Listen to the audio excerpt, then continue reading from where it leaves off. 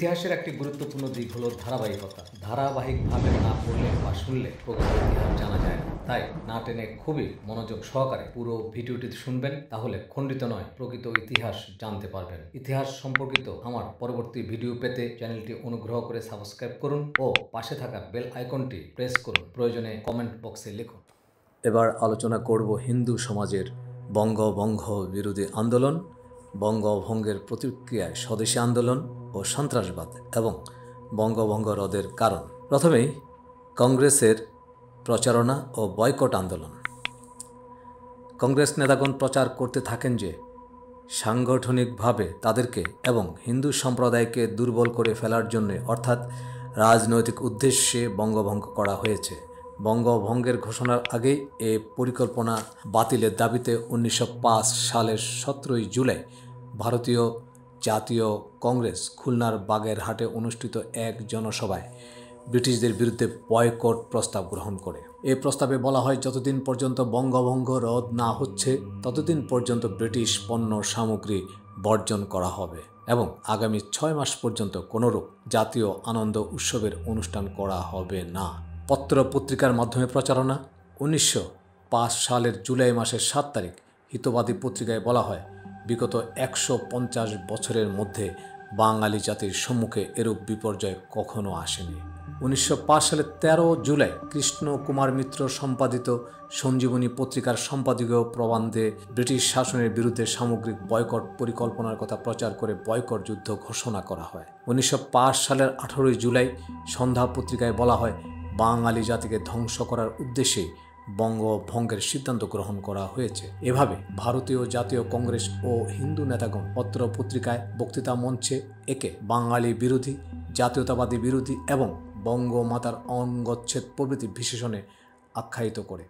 সরকারি সিদ্ধান্তের কথা ঘোষিত হবার পরদিনে বঙ্গীয় ব্যবস্থাপক সভার অধিবেশনে ভূপেন্দ্রনাথ বসু বঙ্গভঙ্গের বিরুদ্ধে তীব্র প্রতিবাদ করেছিলেন। সুরেন্দ্রনাথ ব্যানার্জি কর্তৃক পরিচালিত বেঙ্গলি পত্রিকার বঙ্গ, পত্রিকায় বঙ্গভঙ্গকে এক গুরুতর জাতীয় বিপর্যয় বলে মন্তব্য করা হয় এবং সরকারকে ভারতব্যাপী এক জাতীয় সংগ্রামের জন্য সতর্ক করে দেওয়া হয়। বাগেরহাটের জনসভার অনুকরণে বাংলার বিভিন্ন স্থানে জনসভার আয়োজন করা হয় এবং বিলিতি পণ্য সামগ্রীর বিরুদ্ধে বয়কট প্রস্তাব গৃহীত হয়। উনিশশো পাঁচ সালের সতেরো ও আঠারোই জুলাই রিপন কলেজে বর্তমানে সুরেন্দ্র কলেজ বঙ্গভঙ্গের বিরুদ্ধে ছাত্রদের একটি কেন্দ্রীয় সংগ্রাম কমিটি গঠন করা হয়। উনিশশো পাঁচ সালের সাত আগস্ট কলকাতা টাউন হলে ছাত্র সমাজ নতুন করে বয়কট ও স্বদেশীর শপথ গ্রহণ করে এবং বিলিতি সামগ্রী যাতে কেউ ক্রয় করতে বা বিক্রি করতে না পারে, সেজন্য দোকানে দোকানে ছাত্র সমাজ পিকেটিং করতে থাকে। বয়কট আন্দোলন শুধুমাত্র বিলিতি সামগ্রী বয়কটে সীমাবদ্ধ থাকল না, ইংরেজদের বিরুদ্ধে ব্যক্তিগতভাবেও প্রয়োগ করা হতে লাগল। ইংরেজ সাহেবদের খানা তৈরি করতে উড়িষ্যার পাচকরা অস্বীকার করে, মুচিরা ইংরেজ সাহেবদের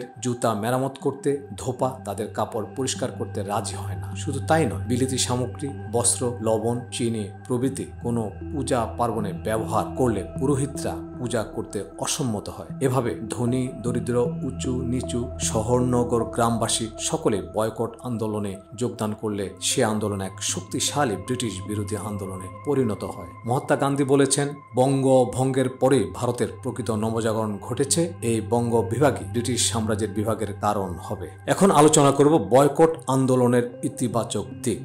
বয়কট আন্দোলন একটি নেতিবাচক আন্দোলন ছিল বলা যেতে পারে। এই আন্দোলন ব্রিটিশ জাতির স্বার্থের উপর কঠোর আঘাত এনেছিল সন্দেহ নেই। কিন্তু ভারতবাসীর দিক দিয়ে এ আন্দোলন নেতিবাচক ছিল বলে পরিপূরক হিসেবে স্বদেশী সামগ্রী প্রস্তুতের ও ব্যবহারের আন্দোলন সৃষ্টি হয়। স্বদেশী আন্দোলন বলতে এজন্য দুটি ধারাকে বোঝায়। বিলেতি সবকিছু বর্জন এবং বিলেতি দ্রব্যাদি বর্জনের সঙ্গে সঙ্গে বিলেতি সামগ্রীর স্থান পূরণ করার জন্য দেশে সেসব সামগ্রী প্রস্তুত করার ব্যবস্থা। সুতরাং বয়কট আন্দোলনের পরিপূরক স্বদেশী শিল্পজাত সামগ্রী ব্যবহার এ উভয় মিলে ব্রিটিশকে কঠোর আঘাত হানার আন্দোলন চলে। বিলেতি সামগ্রীর অসম প্রতিযোগিতায় মৃত কিংবা মৃতপ্রায় দেশীয় শিল্পগুলোকে পুনর্জীবিত করে তোলা, বিলেতি সামগ্রী বিশেষ করে ম্যানচেস্টারের প্রস্তুত বিলেতি বস্ত্র সম্পূর্ণভাবে বর্জন করে ব্রিটিশ জাতিকে অর্থনৈতিক আঘাত হানা এবং বঙ্গভঙ্গ রদের জন্য চাপ সৃষ্টি করাই ছিল স্বদেশী আন্দোলনের মূল উদ্দেশ্য। অর্থাৎ ব্রিটিশ সরকারের বঙ্গভঙ্গের বিরুদ্ধে প্রথম পর্যায়ের নরমপন্থী ও নিয়মতান্ত্রিক আন্দোলন ব্যর্থ হবার পর কংগ্রেসের উগ্রপন্থী অংশের নেতৃত্বে যে আন্দোলন গড়ে ওঠে তাকেই স্বদেশী আন্দোলন বলে। আর এ আন্দোলনের মূল কর্মসূচি ছিল দুটি, বয়কট ও স্বদেশী। পরবর্তী পর্যায়ে উগ্রবাদী নেতা বিপিন চন্দ্র পাল, অরবিন্দ ঘোষ ও বাল গঙ্গাধর তিলক এই আন্দোলনের নেতৃত্ব গ্রহণ করেন। কংগ্রেসের মারাঠি নেতা বাল গঙ্গাধর তিলক বঙ্গভঙ্গের বিরুদ্ধে হিন্দু জাতীয়তা সুসংহত করার জন্য মারাঠাদের শিবাজিকে ভারতের সকল হিন্দুদের জাতীয় বীরের আসনে প্রতিষ্ঠিত করার আয়োজন করে। এক সভায় কংগ্রেসের নেতাগণ শিবাজিকে জাতীয় বীর ও তার সংগ্রামকে জাতীয় সংগ্রাম বলে অভিহিত করেন। বাল গঙ্গাধর তিলকের গোরক্ষা আন্দোলন ও শিবাজির গণপতি উৎসবকে তাদের আন্দোলনের তালিকাভুক্ত করা হয়। এবার কবি, সাহিত্যিক ও বুদ্ধিজীবীদের প্রচারণা। উনিশশো পাঁচ সালের ষোলোই অক্টোবর বঙ্গভঙ্গ কার্যকর হওয়ার দিন ঠিক হয়। কংগ্রেস সেদিন দেশব্যাপী শোক দিবস পালন করে। কবি রবীন্দ্রনাথ সেদিন বাঙালির ঐক্য ও ভ্রাতৃত্বের প্রতীক রাখি বন্ধন উৎসবের প্রচলন করে। অবিবেচ্ছদার প্রতীক হিসেবে হিন্দু, মুসলিম, খ্রিস্টান নির্বিশেষে একে অপরের হাতে রাখি বেঁধে দেন। শোক প্রকাশের চিহ্ন স্বরূপ সকলে উপবাস করে, দোকান পাট ও অন্যান্য কাজকর্ম বন্ধ রাখে। আত্মশুদ্ধির জন্য সূর্যোদয়ের পূর্বে উঠে বন্দে মাতরম গান গাইতে গাইতে খালি পায়ে হেঁটে গঙ্গা স্নানে যায়। হিন্দুদের মধ্যে উগ্র জাতীয়তাবাদ জাগানোই ছিল এসব কর্মসূচির উদ্দেশ্য।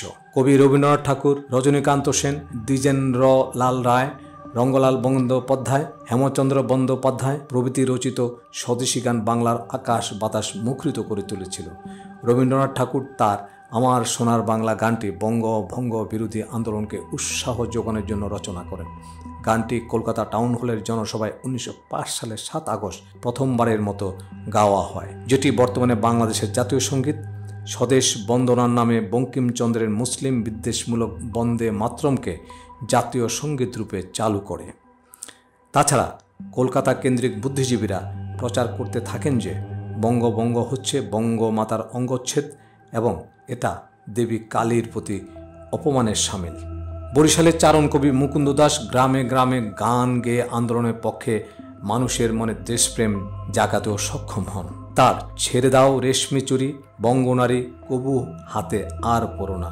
রবীন্দ্রনাথের মায়ের দেয়া মোটা কাপড় মাথায় তুলে নেড়ে ভাই প্রভৃতি গান গ্রামে গঞ্জে, শহরে, বন্দরে সকলের মুখে মুখে গীত হয়ে এক অভূতপূর্ব জাগরণের সৃষ্টি করেছিল। এবার স্বদেশী ও বয়কট আন্দোলনকারীর বিরুদ্ধে সরকারের কঠোর নীতি। স্বদেশী ও বয়কট আন্দোলন বস্তুত ছাত্র, যুবক ও বুদ্ধিজীবী শ্রেণি সক্রিয় ভূমিকা পালন করেছিল। কিন্তু ব্রিটিশ সরকারের প্রচণ্ড দমন নীতির ফলে বিশেষ করে বাল গঙ্গাধর তিলকের ছয় বছরের কারাদণ্ড, অজিত সিং ও লালা রাজপথ রায়ের দ্বীপান্তরের ফলে স্বদেশী আন্দোলন ক্রমশ দুর্বল হয়ে পড়ে। সরকারি দমন নীতির কারণে বিপিন চন্দ্র পাল ও অরবিন্দ ঘোষ সক্রিয় রাজনীতি থেকে অবসর গ্রহণ করে। অন্যান্য শীর্ষ নেতাদের গ্রেপ্তার ও বিভিন্ন মেয়াদে সাজা প্রদান করা হয়। জনসভা ও সংবাদপত্রের উপর বিধিনিষেধ জারি করা হয়। এবার কার্লাইল সার্কুলার ও পেডলারের নোটিশ। ব্রিটিশ সরকার ছাত্র সমাজকে আন্দোলন থেকে বিচ্ছিন্ন করার জন্য কার্লাল সার্কুলার নামে একটি গোপন আদেশ জারি করে। আর ডব্লিউ কার্লাইল ছিলেন বাংলা সরকারের অস্থায়ী প্রধান সচিব। কার্লাইল সার্কুলারটি জারি করা হয় উনিশশো পাঁচ সালের অক্টোবর মাসের ১৩ তারিখে। এ সার্কুলারের পরিপ্রেক্ষিতে তদানীন্তন শিক্ষা অধিকর্তা অর্থাৎ director of public instruction Pedlar সাহেব কোন কোন কলেজের ছাত্ররা পিকেটিংয়ে অংশ নিয়েছিল সেসব কলেজের অধ্যক্ষদের কারণ দর্শাতে বলেন। কয়েকদিনের মধ্যেই কবি রবীন্দ্রনাথের সভাপতিত্বে এবং ভূপেন্দ্রনাথ বসু, কৃষ্ণকুমার মিত্র, সতীশ চন্দ্র মুখার্জি, মনোরঞ্জন গুহ ঠাকুরতা বিপিন চন্দ্রপাল প্রভৃতির উপস্থিতিতে এক সভায় কার্লাইল সার্কুলারের নিন্দা করা হয়। এই সভাটি হয়েছিল চারুচন্দ্র মল্লিকের পটল ডাঙ্গার বাড়িতে। এবার জাতীয় শিক্ষা পরিষদ বা ন্যাশনাল কাউন্সিল অফ এডুকেশন গঠন। স্বদেশী আন্দোলনে যোগদানকারী অনেক ছাত্র, শিক্ষক সরকারি দমোন্নতির কারণে স্কুল কলেজ ত্যাগ করেছিলেন। বহু ছাত্রকে স্কুল থেকে বহিষ্কারও করা হয়েছিল। তাদের শিক্ষা এবং কর্মসংস্থানের প্রয়োজনীয়তা তৎকালীন নেতৃবর্গের অন্যতম দায়িত্ব বলে বিবেচিত হয়। ডন সোসাইটির প্রধান সতীশ চন্দ্র মুখোপাধ্যায়, তদানীন্তন নেতৃস্থানীয় ব্যক্তিবর্গ যেমন রবীন্দ্রনাথ ঠাকুর ব্রজ কিশোর রায় চৌধুরী সুবোধচন্দ্র মল্লিক, বিপিন চন্দ্র পাল, হীরেন্দ্র চন্দ্র দত্ত প্রভৃতির সাহায্য নিয়ে উনিশশো পাঁচ খ্রিস্টাব্দের ষোলোই নভেম্বর তারিখে আহত এক জনসভায় জাতীয় শিক্ষা পরিষদ, অর্থাৎ ন্যাশনাল কাউন্সিল অফ এডুকেশন নামে একটি সংস্থা গঠন করেন। জাতীয় শিক্ষা পরিষদে ব্রজকিশোর রায় চৌধুরী পাঁচ লক্ষ টাকা সুবোধচন্দ্র মল্লিক এক লক্ষ টাকা সূর্যকান্দ্র চৌধুরী দুই লক্ষ পঞ্চাশ হাজার টাকার সম্পত্তি দান করেছিলেন। উনিশশো ছয় খ্রিস্টাব্দে অরবিন্দ ঘোষকে অধ্যক্ষ করে জাতীয় কলেজ প্রতিষ্ঠিত হয়। একই সঙ্গে বেঙ্গল টেকনিক্যাল ইনস্টিটিউট নামে একটি কারিগরি শিক্ষালয় প্রতিষ্ঠিত হয়। এই টেকনিক্যাল ইনস্টিটিউটটি পরবর্তীকালে রূপান্তরিত হয় যাদবপুর ইঞ্জিনিয়ারিং কলেজে। স্বদেশী আন্দোলনের সূত্রে এভাবে কলকাতা ছাড়াও মফস্বল অঞ্চলেও স্বদেশী শিক্ষা ব্যবস্থা চালু করা হয় এবং ব্রিটিশ সরকারের কঠোর নিয়ন্ত্রণাধীন শিক্ষা ব্যবস্থার বাইরে শিক্ষার প্রসারের সুযোগ সৃষ্টি হয়। তদুপরি সরকারের কঠোর দমননীতি সাম্প্রদায়িক বিভেদ সাংগঠনিক দুর্বলতা ও কংগ্রেসের অভ্যন্তরীণ দ্বন্দ্ব সর্বোপরি স্বদেশী আন্দোলনে অংশগ্রহণকারী মুসলিম নেতাগণ আন্দোলন থেকে সরে পড়ায় এ আন্দোলন শুধুমাত্র হিন্দুদের দ্বারা পরিচালিত হতে থাকে। ফলে বঙ্গভঙ্গ বিরোধী আন্দোলনটি স্থিমিত হয়ে পড়ে। এবার সন্ত্রাসবাদী আন্দোলন। বঙ্গভঙ্গকে কেন্দ্র করে বাংলা তথা ভারতবর্ষে কংগ্রেসের মডারেট নেতৃত্ব দ্বারা যে স্বদেশী আন্দোলন শুরু হয় তার ব্যর্থতা, উগ্র জাতীয়তাবাদী চিন্তাধারার উদ্ভব ঘটে। উগ্র জাতীয়তাবাদীরা মনে করতে শুরু করে যে, স্বদেশের স্বাধীনতার জন্য আত্মত্যাগের জন্য প্রস্তুত হতে হবে। সারা ভারতে বিপ্লবী সন্ত্রাসবাদ দানা বাঁধতে থাকে। ভারতে সর্বপ্রথম গোপন বিপ্লবী সংগঠন গড়ে তুলেন মহারাষ্ট্রের বাসুদেব বলবন্ত ফাতকে। মহারাষ্ট্রের মতোই বাংলাও বহু বিপ্লবী গুপ্ত সমিতি গড়ে ওঠে। এদের মধ্যে কলকাতার যুগান্তর এবং ঢাকার অনুশীলন সমিতি ছিল উল্লেখযোগ্য। বঙ্গভঙ্গের পূর্বে ব্যারিস্টার প্রমথনাথ মিত্র উনিশশো এক সালে কলকাতায় অনুশীলন সমিতি গঠন করেন। প্রমথনাথ মিত্র উনিশশো পাঁচ সালে বিপিন চন্দ্র পালের সঙ্গে ঢাকায় এসে অনুশীলন সমিতি দ্বিতীয় প্রধান কার্যালয় স্থাপন করেন। চিত্তরঞ্জন দাস ও অরবিন্দ ঘোষ এ সমিতির জন্য বহু অর্থ ব্যয় করেন। ঢাকায় অনুশীলন সমিতির প্রধান নেতা ছিলেন পুলিন বিহারী দাস। সন্ত্রাসবাদীদের দ্বিতীয় দল যুগান্তর সমিতি উনিশশো ছয় সালে কলকাতায় জন্ম হয়। বারীন্দ্র কুমার ঘোষ নামক একজন বিপ্লবী যুগান্ত সমিতি গঠন করেন। তার অপর দুই সহকর্মী ছিলেন অবিনাশ ভট্টাচার্য ও ভূপেন্দ্রনাথ দত্ত। এই গোষ্ঠী উনিশশো ছয় সালে যুগান্ত নামে একটি পত্রিকা প্রকাশ করে তাদের আদর্শ প্রচার শুরু করতে থাকেন। একইভাবে বরিশালে স্বদেশী বান্ধব, ফরিদপুরে ব্রতী ময়মনসিংহের সাধনা ইত্যাদি সংগঠনের আন্দোলনের পক্ষে জনসমর্থন গড়ে তোলেন। এদিকে লঘু অপরাধে গুরুদণ্ড দেয় কলকাতার প্রেসিডেন্সি ম্যাজিস্ট্রেট কিংসফোর্ড সাহেবকে হত্যার পরিকল্পনা করা হয়। যুগান্তর গোষ্ঠী এ হত্যার দায়িত্ব প্রদান করে ক্ষুদিরাম বসু ও প্রফুল্ল চাকি নামক দুই কিশোর বিপ্লবীর উপর। উনিশশো আট সালে এই দুই কিশোর বিপ্লবী কলকাতা থেকে বিহারের মজফরপুরে ছদ্ম বদলি হয়ে আসা কিংসফোর্ডের গাড়ি লক্ষ্য করে বোমা নিক্ষেপ করেন। কিন্তু ভুলবশত তারা ব্যারিস্টার ক্যানেডির স্ত্রী ও কন্যা যে গাড়িতে যাচ্ছিলেন সেই গাড়িকে কিংসফোর্ডের গাড়ি মনে করে তাতে বোমা নিক্ষেপ করেন। ফলে ক্যানেডির স্ত্রী ও কন্যা উভয়ই প্রাণ হারান। পালিয়ে যাওয়ার সময় মোকামা স্টেশনে প্রফুল্ল চাকি ধরা পড়লে তিনি নিজের রিভলভারের গুলিতে আত্মহত্যা করেন। ক্ষুদিরাম ধরা পড়েন ও বিচারে তার ফাঁসি হয় উনিশশো আট সালে। উনিশশো সালের দুই জুন কলকাতার মানিকতলা অঞ্চলে বোমা প্রস্তুতির সময় অরবিন্দ ঘোষ, বারিন ঘোষ ও উল্লাসকর দত্ত সহ মোট সাতচল্লিশ জন চরমপন্থী ধরা পড়েন। বিচারে অরবিন্দ খালাস পান, বারিন ঘোষ ও উল্লাসকর দত্তকে যাবজ্জীবন দ্বীপান্তর করা হয়। ইতোমধ্যে বাংলার গভর্নর অ্যান্ড্রু ফেজারকে হত্যার চেষ্টা, উনিশশো নয় সালে সরকারি উকিল আশুতোষ বিশ্বাসের হত্যা ও police sub inspector Nandalal Bandyopadhyay হত্যা উনিশশো আট সালের জানুয়ারিতে ডিআইজি খান বাহাদুর শামসুল আলমকে গুলি করে হত্যা করা হয়। এখন আমরা আলোচনা করব বঙ্গভঙ্গে মুসলমান ও পূর্ব বাংলার জনগণের প্রতিক্রিয়া। উনিশশো তিন খ্রিস্টাব্দে ব্রিটিশ সরকার বঙ্গভঙ্গের পরিকল্পনা করলে হিন্দু জমিদারদের পাশাপাশি মুসলিম জমিদার শ্রেণি ও কতিপয় আইনজীবী বঙ্গভঙ্গের বিরোধিতা করলেও সমগ্র বাংলা ও আসামের মুসলিম জনতা এ পরিকল্পনাকে স্বাগত জানায়। কেননা নবগঠিত পূর্ব বাংলা ও আসাম প্রদেশে তারাই ছিলেন সংখ্যাগরিষ্ঠ। সঙ্গত কারণে মুসলমান জনগণ আশাবাদী হয়ে ওঠেন যে নতুন প্রদেশে তারা অর্থনৈতিক, সামাজিক ও রাজনৈতিক ক্ষেত্রে উন্নতি সাধন ও স্বার্থ সংরক্ষণ করতে সক্ষম হবেন। মুসলমান কৃষক সম্প্রদায় উৎফুল্ল হয়ে ওঠেন এজন্য যে হিন্দু জমিদারদের নির্যাতন থেকে এবারে তারা রেহাই পাবেন। মুসলিম আইনজীবী, চিকিৎসক, চাকরিজীবী, বণিক সম্প্রদায় ও ভূস্বামী জমিদারগণ আনন্দিত হন এজন্য যে এবারে তারা হিন্দু প্রতিপক্ষের প্রতিদ্বন্দ্বিতা থেকে মুক্ত হবেন। নতুন প্রদেশের পক্ষে মুসলমানগণ কর্তৃক সম্পাদিত পত্রিকাগুলো এ পরিকল্পনাকে স্বাগত জানায় এবং এর সুফলগুলো জনসাধারণের জন্য তুলে ধরেন। মুসলমানদের সংগঠন মোহামেডান লিটারারি সোসাইটি, মুসলিম সাহিত্য সমিতি, মোহামেডান প্রভিন্সিয়াল ইউনিয়ন ও পরবর্তীতে নবাব স্যার সলিমুল্লাহ কর্তৃক প্রতিষ্ঠিত মুসলিম লীগ বঙ্গ ভঙ্গকে স্বাগত জানায় এবং এর পক্ষে প্রচারণা চালায়। বঙ্গ ভঙ্গের বিরুদ্ধে হিন্দু সম্প্রদায়ের আন্দোলনের কথা স্মরণ করে নবাব সলিমুল্লাহ বলেন, হিন্দুগণ ভবিষ্যতে বুঝবে যে পূর্ব বাংলা প্রদেশ স্থাপিত হয় বাংলা ভাষাভাষী জনগণ বিভক্ত হয়নি, বরং দুই সহোদর শাসন, শিক্ষা ও সামাজিক ক্ষেত্রে প্রভূত উন্নতির সুব্যবস্থা হবে এবং বাঙালি জাতি শক্তিশালী হয়ে গড়ে উঠবে। এই সংকটময় মুহূর্তে বাংলার মুসলমানদের স্বার্থ রক্ষার জন্য এবং নতুন প্রদেশকে টিকিয়ে রাখার জন্য সলিমুল্লাহ নিরলস প্রচেষ্টা চালিয়ে যান। টাঙ্গাইলের ধনবাড়ির জমিদার নবাব আলী চৌধুরী ও পূর্ব বাংলার উদীয়মান নেতা আবুল কাশেম ফজলুল হক তাকে পূর্ণ সহযোগিতা করেন। তারা বাংলার বিভিন্ন স্থানে সবার আয়োজন করে নতুন প্রদেশের যৌক্তিকতা ব্যাখ্যা করেন এবং নবগঠিত প্রদেশের সপক্ষে জনমত গড়ে তোলেন।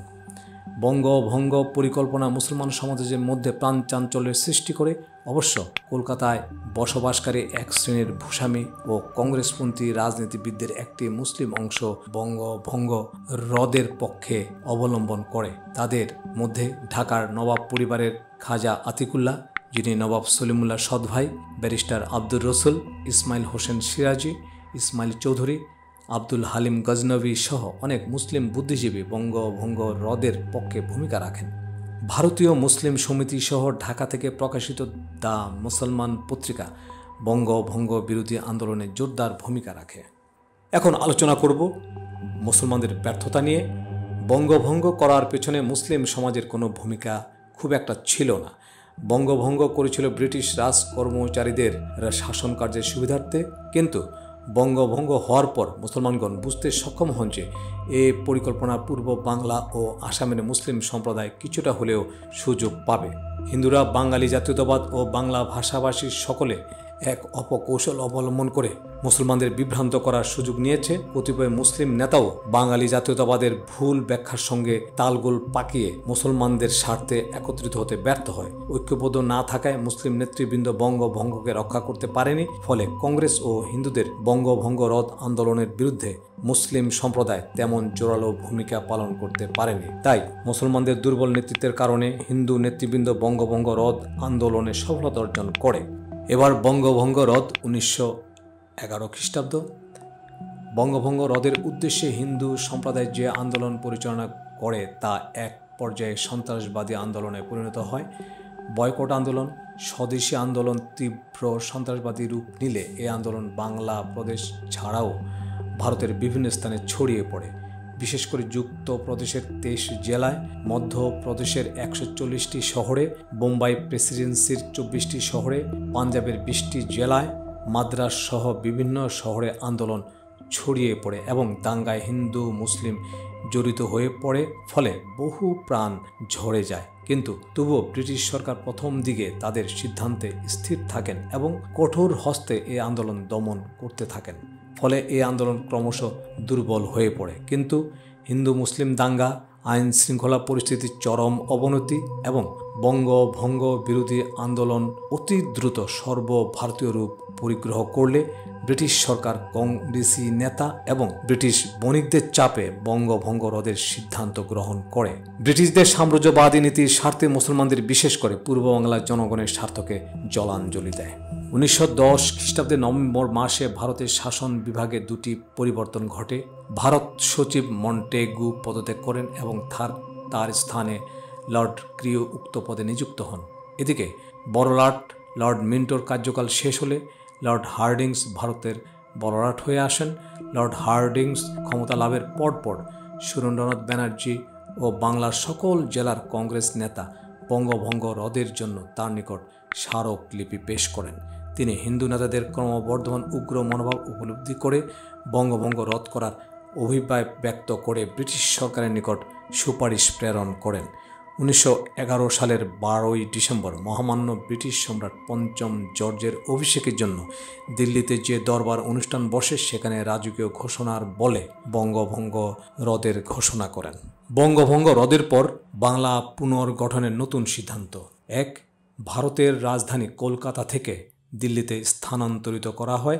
ব্রিটিশরা মনে করেন এতে কলকাতা যেমন সন্ত্রাসবাদীদের হাত থেকে রক্ষা পাবে, অন্যদিকে দিল্লিতে রাজধানী স্থাপিত হলে উত্তর ভারতের মুসলমানগণও খুশি হবে। কেননা, দিল্লি একসময় মোগল সাম্রাজ্যের রাজধানী ছিল। দুই, বাংলা ভাষাভাষী পাঁচটি বিভাগ, যথা প্রেসিডেন্সি, বর্ধমান, ঢাকা রাজশাহী ও চট্টগ্রামকে একত্রিত করে একটি প্রেসিডেন্সিতে অর্থাৎ বাংলা পুনর্গঠিত হবে, যার প্রশাসনিক দায়িত্ব পালন করবে সব পরিষদ গভর্নর। তিন, বিহার, ছোটনাগপুর ও উড়িষ্যাকে নিয়ে একটি নতুন পৃথক প্রদেশ গঠন করা হয়। যার শাসনকার্য পরিচালনা করবেন একজন সব পরিষদ লেফটেন্যান্ট গভর্নর। চার, আসামকে পূর্ব বাংলা হতে বিচ্ছিন্ন করে পূর্বের মতো চিফ কমিশনারের শাসনে প্রত্যাবর্তন করা হয়। নতুন ব্যবস্থাটি উনিশশো বারো সালের জানুয়ারি মাস হতে কার্যকরী হয়। বঙ্গভঙ্গের ফলে হিন্দু সম্প্রদায় ও কংগ্রেস খুশি হলেও মুসলমানরা স্বাভাবিকভাবে হতাশ হয়ে ব্রিটিশ শাসনের উপর আস্থা হারিয়ে ফেলে। এরপর মুসলমানরা নিজেদের ভবিষ্যৎ ভাগ্য নির্ধারণের জন্য রাজনৈতিক দৃষ্টিভঙ্গির পরিবর্তন আবশ্যক মনে করল।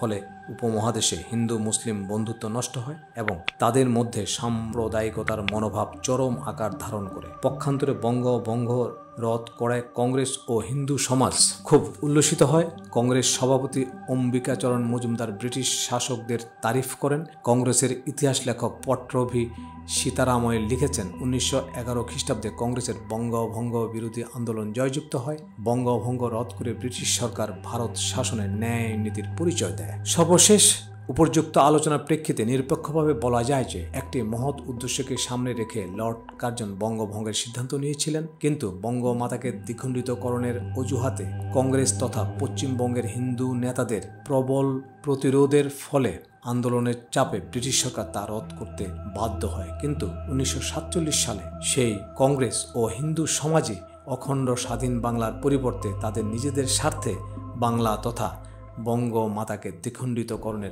প্রস্তাব দেয়। উনিশশো সাতচল্লিশ সালে দ্বিতীয়বার বঙ্গভঙ্গ হয়।